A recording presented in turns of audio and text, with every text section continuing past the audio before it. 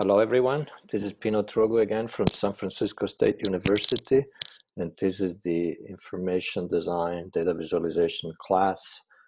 Um, this is going to be just a little uh, showcase of the work from the last 10 years from the class. It's not, um, it's not super curated, it's just uh, showing some of the work.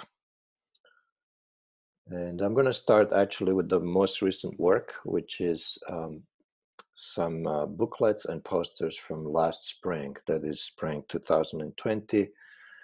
And uh, this is a, a, booklet that shows, compares COVID with some other natural disasters. So this is actually about uh, five by seven. Uh, this is a double page spread. Um, should be a line in the middle. And um, looking at what earth earth disasters can do fire disasters water disasters and air disasters.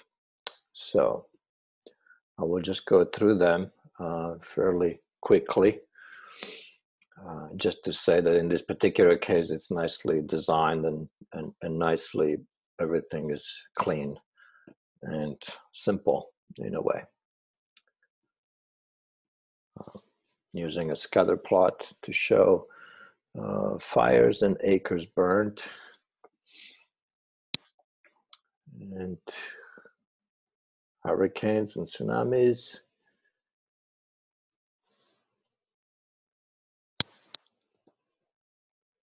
And the last was the uh, virus. So this is last spring, and we're now in November, so things are, of course, um, much worse already, but these bubbles show how many people died in each particular uh, epidemic in the past. And here's a little tree map um, with, um, again, the different epidemics, COVID being the worst. And these colors should match these colors right here for the uh, for the uh, bar chart. And these are the credits. And this other one is actually a poster. The format is 24 by 36, and this is also about COVID. And the, uh, oops, uh, the thing I want to say here is it's just quite simple. And of course, the graph that shows the um, let's see. Yeah, cases in New York City up to a certain date. I'm not sure which exactly um, is what creates this nice divide between the left and the right uh, part of the poster. Um, just want to say something also about how the graphs are not um, straight out of the programs that he used. Um, but they're a little bit refined in Illustrator. Uh, noticed this little nice way of showing the different steps by simply putting a white line on top of the uh, on top of the bars instead of having lines underneath, which it does in this other example. Um, when there is no room to um, fit the labels, you can put them at 45 degrees. This is a little bit more, but um, it works pretty well.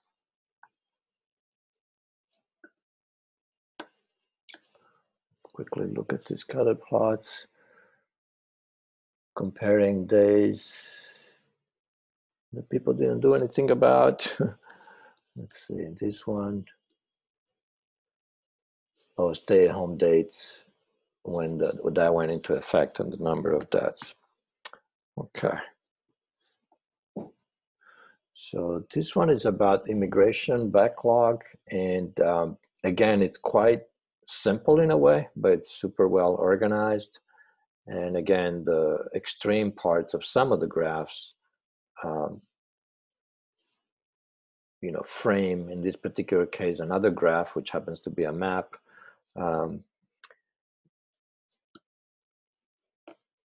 and um, yeah, and obviously there is a grid. Uh, the grid is broken sometimes. This right column right here is a little bit wider than this right column here on the right, but still um, it still works. Uh, always, when possible, sort the data because that's the most important thing. In these charts below here, uh, it's not sorted because it's actually by year. Although in some cases the sorting corresponds to the chronological as well. Another poster, this might have been 30 by, no, uh, yes, 30 by 40 inches, and it's about YouTube. And it's basically a simple arrangement of all the statistical charts with a lot of uh, rulers used, horizontal rulers, vertical rulers, and a lot of uh, typography to show, you know, all that information. Um, so of course, typography is very, very important.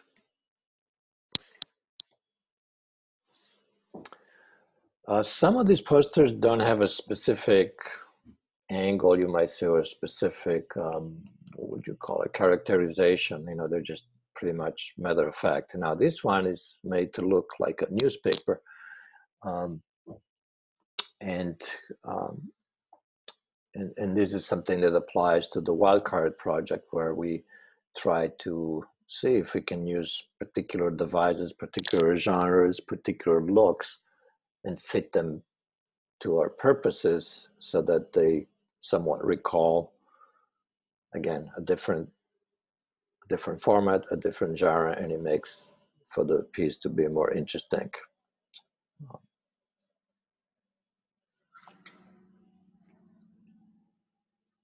So even though most of these projects are posters um, some of the some of the key principles and, and ways of looking at them of course apply to any any uh, data visualization project, even though, of course, these are print um, and there is no motion in them. Um, but nevertheless, I think we can we can transfer some of this information to motion uh, animated data visualization if we if we had to. Um, a very nice organized six column grid, which turns into three column grids at times, and all the charts. Let's see if we can zoom in. Um, are quite clean and usually sorted as well. Um, this one about rents in San Francisco Oh, I forget what years this.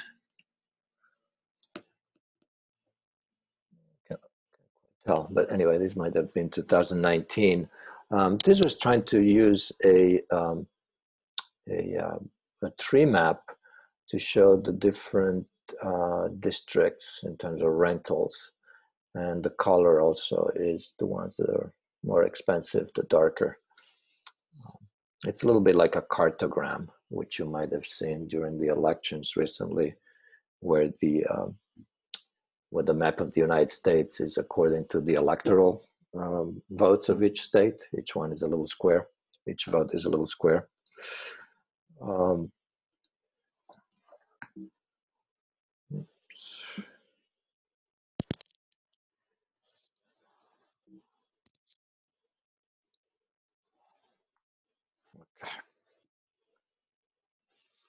a rather complex one about barrier reefs. And normally I'm not too crazy about lots of background colors and fills. But in this case, I think it works because it's about water, it's about oceans. So the um, the background doesn't doesn't get in the way. Um,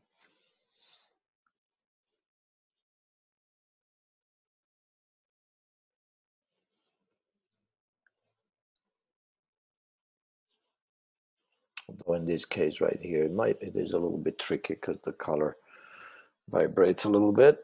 Um,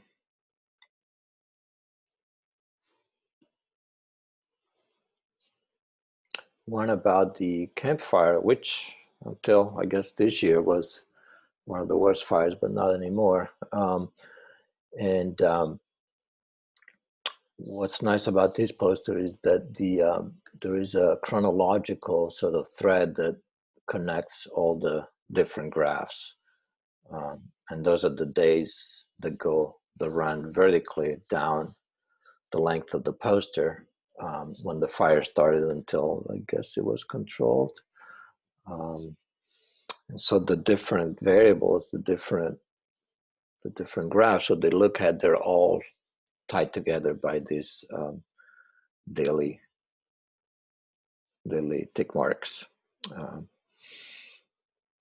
it's nice how the also the uh, key to how dangerous the air quality was um, works out in this particular graph as well, where the scale is in fact the air quality on the left.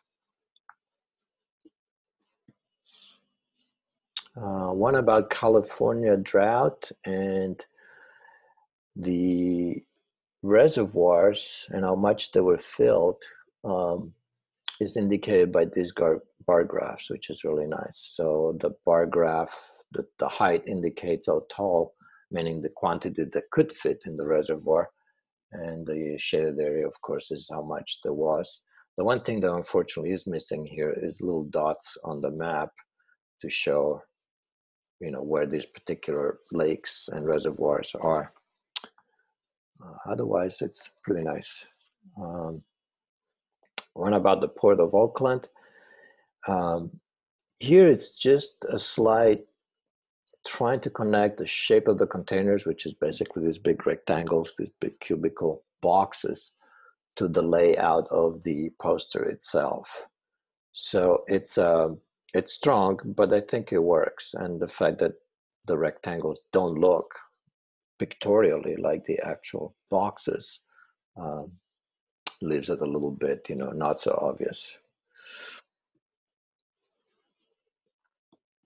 Uh, the evolution of the iPhone and the Macintosh, and this is comparing um, the price on the right and the units sold of the iPhone on the left.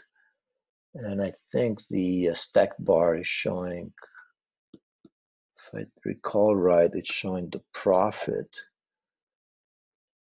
that um, that each product made. I Can't quite remember. I think that's what it was, but. Uh, and there is a timeline also uh, going down the middle, which is which is also quite nice. Okay, um, this is a nice illustration quality, which is given by the um, the crumpled paper. And I'm not exactly sure um, why the student did that, but um, it was uh, a scan of crumpled paper that was then reproduced, um, and also a scan of these ripped pieces of paper that was again rephotographed and, and placed on the uh, on the poster. Um, just really, really nice way of using a simple element of the ripped paper and using it throughout for, for the typography. What's nice about this poster too is the contrast between this very large map and then this very detailed uh, columns with all the different graphs. In a way a completely different one, almost opposite in its sort of simplicity and and bare bones, one might say. Um, although maybe that's a bad a bad um, analogy for for a poster about ob- obesity. But um, anyway, yeah, sometimes very simple elements can work um, to uh, make you know a visual a visual point. A, little odd. Um, you know, in the head here is actually a scale when you look down and you look at the at the number, but it kind of works because of the shape. So um, it's a little strange, but it works. Uh, okay, I guess I shouldn't talk about favorites, but I'm going to anyway.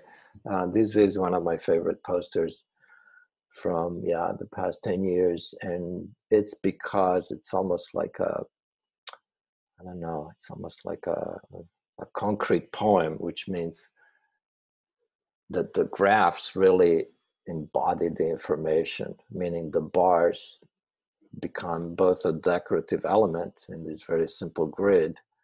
Um, the original idea, I think, came from trying to depict, uh, because it's about ho- housing mainly, trying to depict a building with its windows, you know, maybe more of an office building. But anyway, it evolved into this very simple matrix, which shows the years across. So it's a timeline and the bar charts up and down.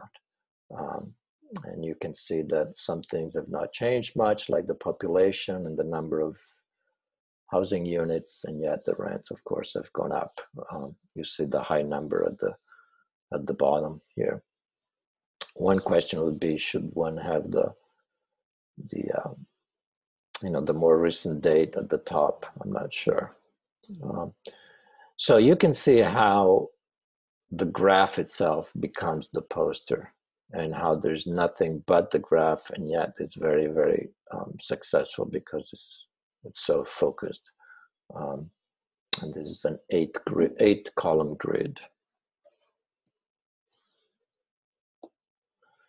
uh, one on the Syrian uh, migrant crisis um, photography can work very well too as you can see here um, I should say that I'm, well, I'm very traditional, I'm very old school. And so in all these projects, I really try to always push, okay, you have to have a title. And usually that title is bigger than everything else. And you have to have usually an area at the top because usually that's what one where where one looks first um, and then it goes down to you know more details but um, you have to have a focus, and the focus usually comes with the title at first. Um, a very strong illustration wise poster, but again, it does use some of the illustra- oops, some of the illustrative elements um, and turn them into graphs. So actually, this bar on the right here, this large graphic, is actually a tree map. So each rectangle shows a particular, uh, yeah, the type of E-waste, computers, monitors, etc. And um, but then she put a little a little key inside to understand um, to understand what the tree map represents.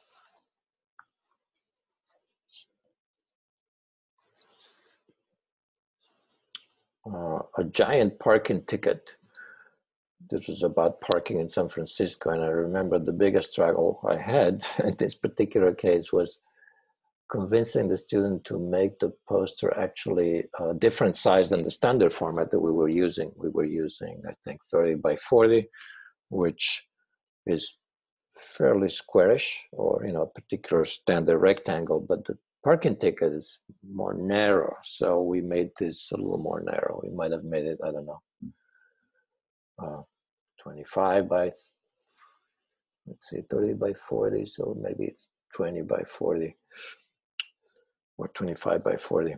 Uh, and also the graphic is very uh, spare. Um, and again, this is trying to replicate the cheap, you know, inkjet printers that uh, Miller, Miller guys use. Um, one about the use of express lanes and um, bar charts, you know, on the road. I just want to point out one little thing, if I can. Oops. And that is uh, that sometimes when you have um, things at an angle, you can play with the angle of the italic type and I'm going I'm going to try to see if I can show that um, uh, let's see if I can annotate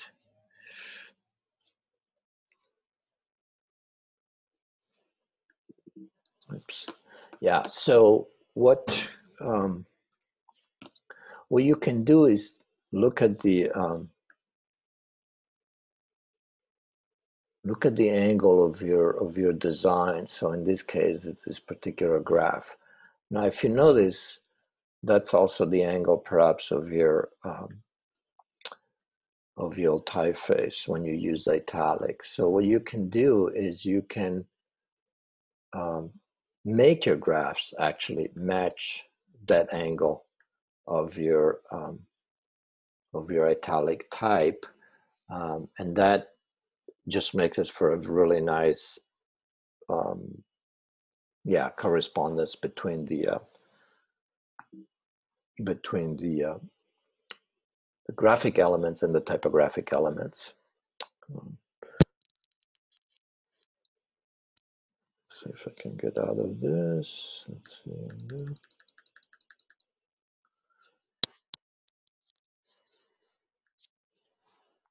Okay.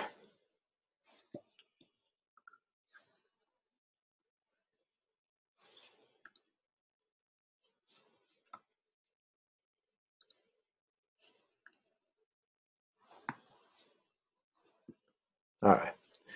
Moving along. Okay, another real elaborate one. Um, oops, the mouse has a life of its own.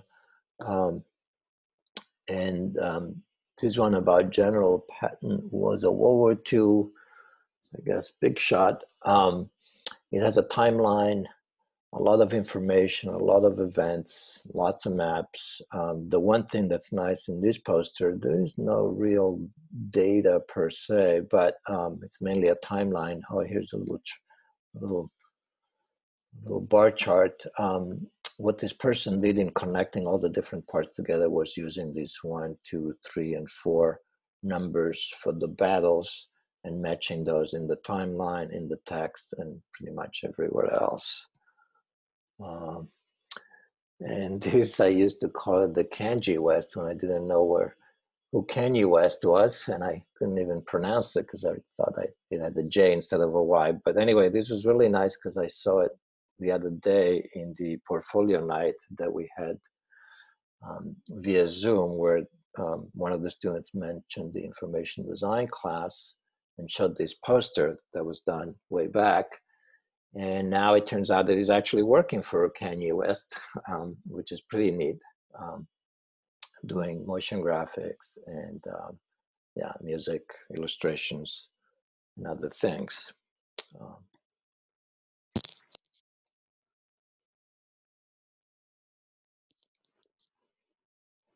this poster about Disney um, has a lot of information, a lot of. Uh, this is, I think, a uh, it's a timeline. Yes, right here, 214, 13, 12, and the gross probably of each movie and the characters from the movies. And it owns uh, that to a, another poster that was done earlier, which I shared. And anytime a student picks up on an older project, that's okay as long as you credit and you and you recognize you know what somebody else did before. So we'll see we'll see another poster about Pixar later on that uses this concept of placing the characters on the bars. Um, let's just zoom in to take a little detail. Um, forget what the uh, the little tick marks are. Um, can't quite see.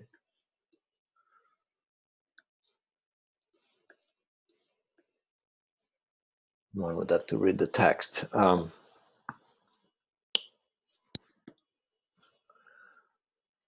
okay, we have quite a few still. Um, about UFOs, you you have a line graph and you have a bar chart, and that's pretty much the data. Oh, actually, there is there is a little um, a little scatter plot here. Let's see if I can zoom in. Yeah. Um, that shows, whoops.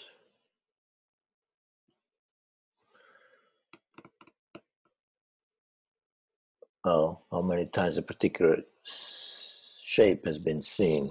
Um, okay.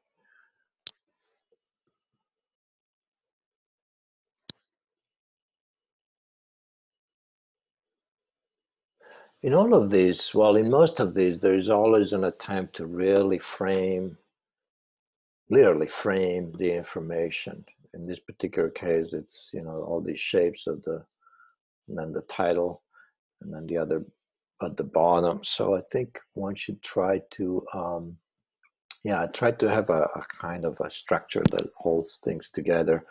Um, this is about art um, and uh, valuation of, and I think she was trying to look at over time. Let me see if I can move. Things are in the way here.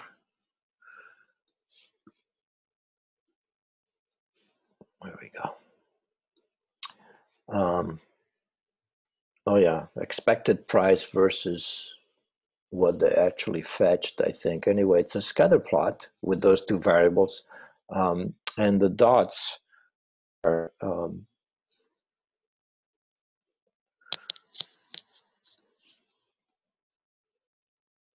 it's actually the exact location of where those paints should be placed in terms of the two variables.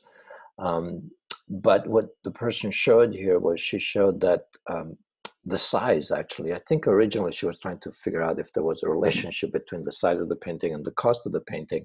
And so all these paintings are proportional to each other in terms of their size.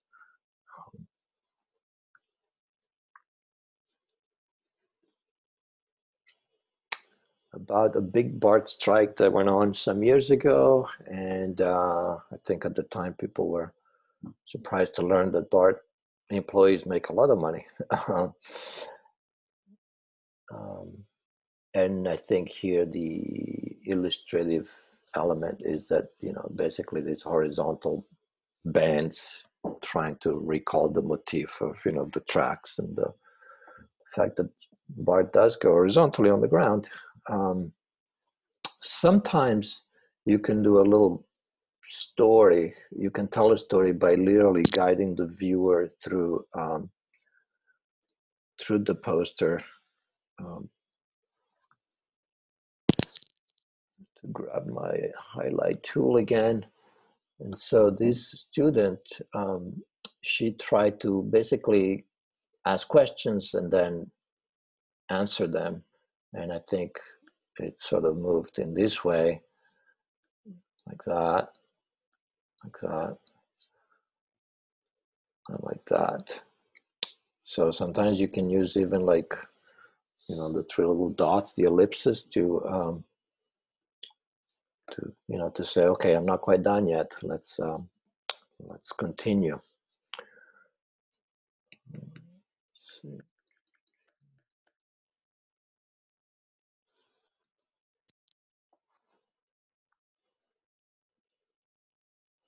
Right. Um, this is about drugs and um,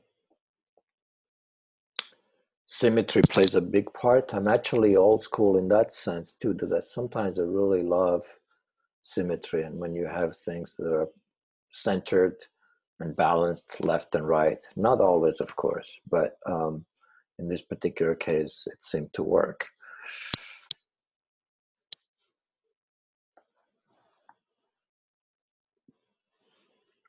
And one other of my favorite ones. Uh, this is basically a bubble chart. Um, let's see where.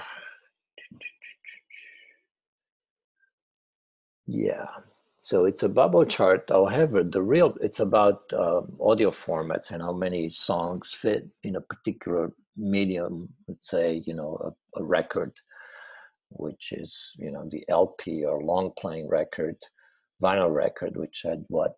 Um, I forget. Oops, sorry about that.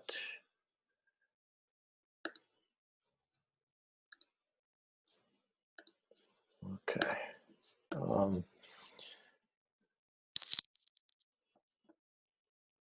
well, let's just say there's a nice timeline at the top on the evolution of all the various formats the iPods, which doesn't exist anymore, but um, for a while that was you know the big thing, and um, and so the bubbles are really these gray uh, bubbles showing by size how many trucks actually fit. So, for example, in a mini CD, you could fit six tracks. Let's see, and then 50 through. Um,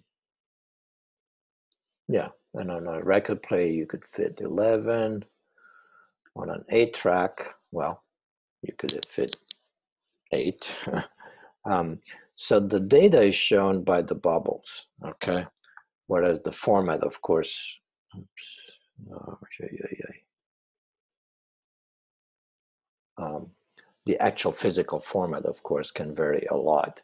Um, now, some formats like the um, iPod, I think it's this one.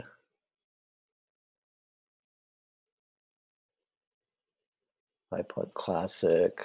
Um, oh yeah, 40,000. So this was iPod Classic. This was a real hard drive, 40,000 tracks. Um, and it's shown that data is shown by um, by this big circle right here, which goes off the off the chart, off the poster because it didn't fit. Now, what we noticed somehow, I don't know how, I think it was just a guess. When she drew this big circle, I said, hmm, I wonder if that big circle, that area of that big circle is similar to the poster. And it turns out it was super, super close. And so here she wrote a little, a little explanation showing that in fact the poster is about itself is about 40,000 uh, tracks. Um, and if you go back and look at the at the very first format, which was the wax cylinder, it shows that there is one track. So you can see that even one is quite a big item and it's quite visible um, compared to 40,000. So there is the same, the equivalent of these 40,000 little dots like this would fill, if they were turned into little squares, would fit exactly the poster. So that was a nice bonus of this um, of this exploration. Um,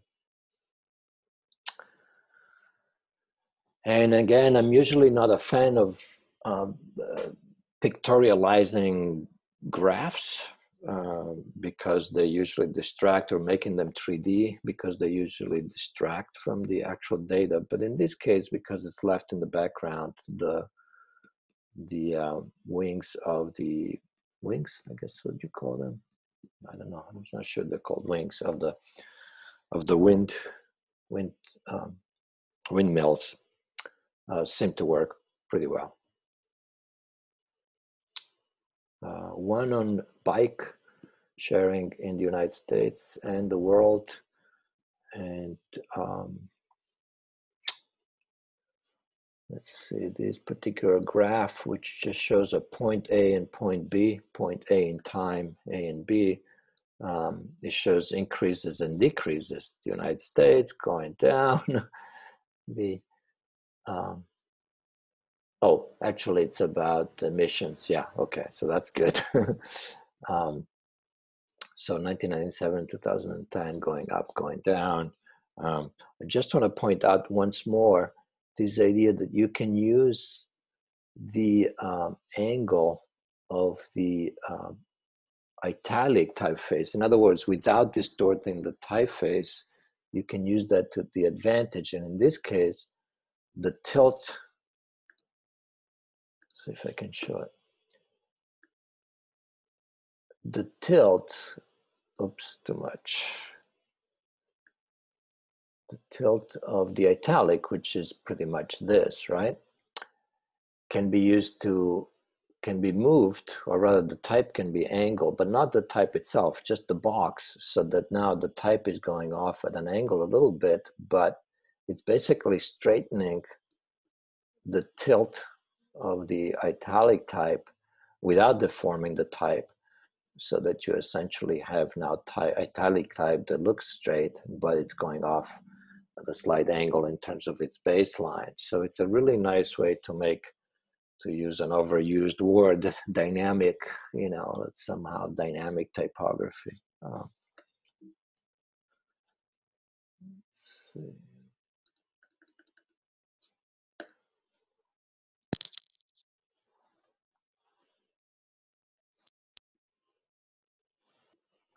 This is from maybe the second year, so this is maybe eight years ago.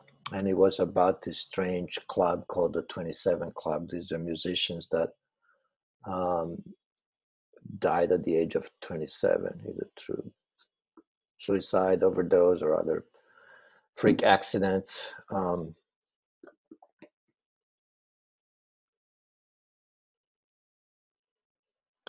and again, sometimes photography does have a place. Um, yeah, we're actually getting closer to. This is the very, very first class. I think this is fall 2009 and it's about the Civil War.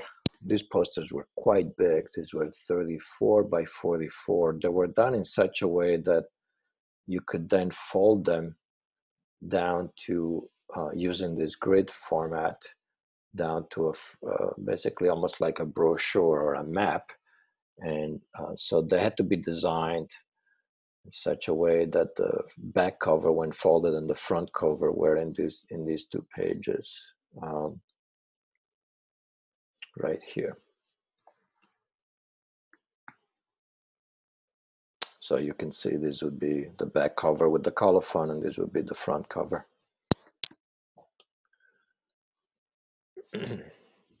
Another one with an historical event, the Kent State shootings in 1970. And one where the bars, in this case, the buildings, do in fact look like the thing themselves. So obviously this contradicts my earlier statement about don't pictorialize or don't embellish or anthropomorphize the data, uh, the graphs. Uh, but in this case, I think it works quite well. And this really doesn't show any data. It's really a timeline of sorts. Um, uh, the class has evolved to a more yeah data data driven in terms of really having always some kind of spreadsheet some kind of data set that's being used um,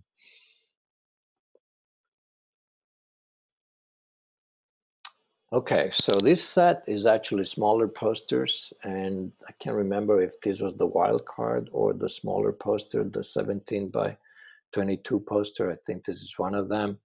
Um, this is about the Android system and different different tree maps showing um, different shares of the market and a really nice timeline, which I also put in my um, in my um, handbook um, to show that you got to keep your timelines um, with your tick marks really always the same.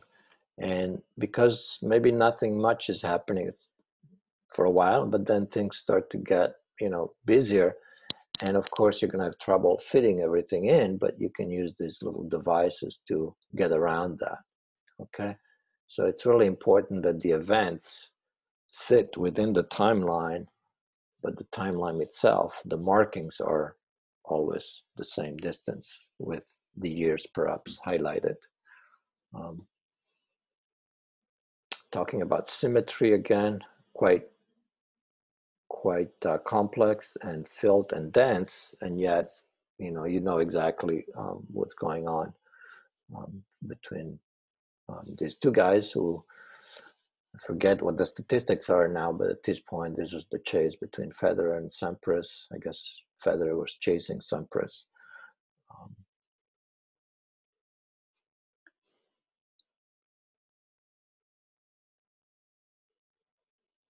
you can write the actual data on top of the bars sometimes, and that's you know that can be useful. Um, and here it doesn't compete too much with it either because it's just simple Helvetica light.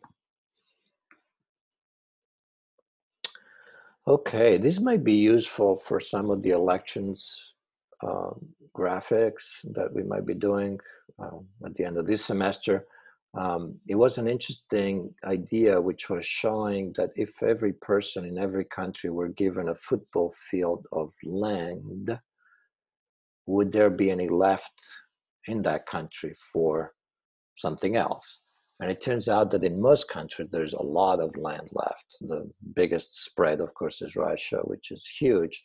And even the United States, only 14% of the uh, of the land would be taken up if every person got um, a football field of land. Now, some countries you can see India actually don't have quite enough. Some countries, basically, it's exactly right, uh, 100%.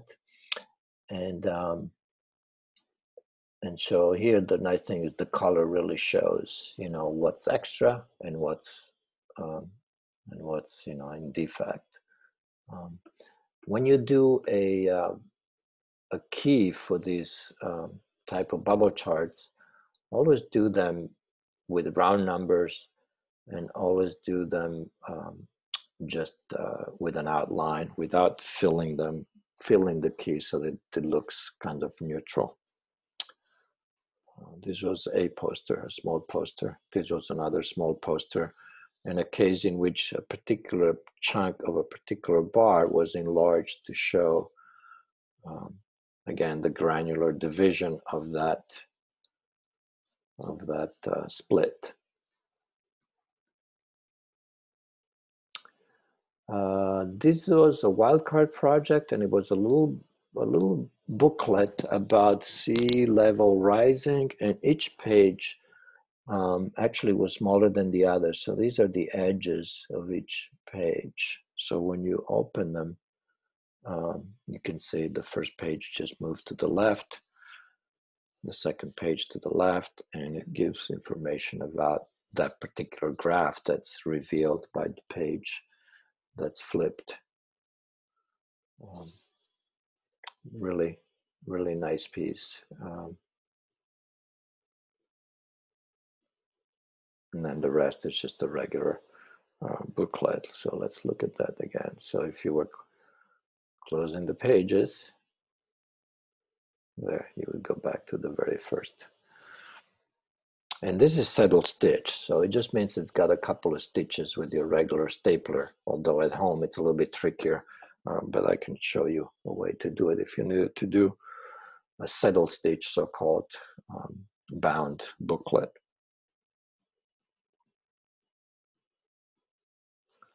And we're getting close to the end here. This was another poster, perhaps done for the um, for the wildcard project about Facebook. And let's see, when was this? Uh, 2012, yeah, way back. Um,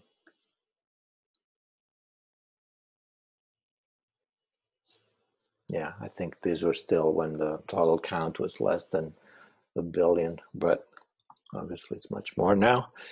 Um, a nice scatter plot that, yeah, it's about dinosaurs and the size of dinosaurs, and I think the weight. Let me see. Um, the height is on the left and oh the length yeah so the the height the, the, the variable on the left is the height and the variable on the bottom is the length and uh, the size of the bubble so in other words each bubble is placed at that spot. So this particular guy the supersaurus was 100 feet long about 70 feet tall and he weighed let's see weighed about a hundred thousand pounds. Okay? Um, and uh, it's nice because it looks like a cross section of the hill where perhaps these might be you know little giant fossils see how she showed one of the fossils there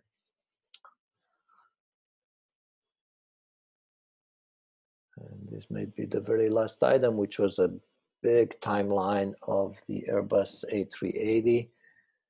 And yeah, again, the timeline here, not too much happens at the beginning, but then of course things get more busy. Um, yeah, that's it. That's the end. So I will quickly do a a backward zoom, as it were. Let's see if we can do that.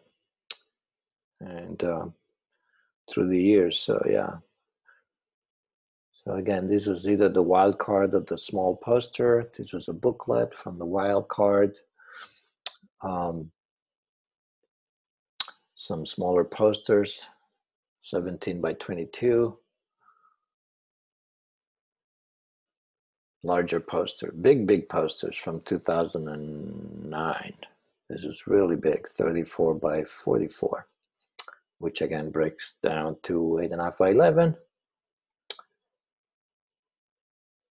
And and then they got smaller to 30 by 40.